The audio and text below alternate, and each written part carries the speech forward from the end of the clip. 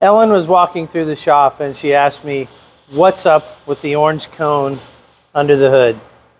Welcome to Mercie J, where compassion and craftsmanship come together. I'm Rick Smith.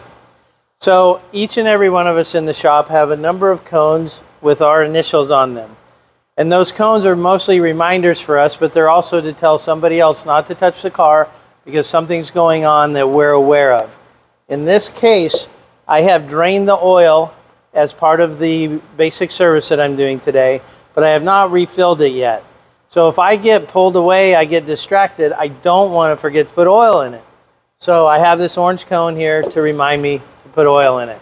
We use them for lots of other things as well, and they're just really good reminders so that those simple things that we might forget easily always get taken care of.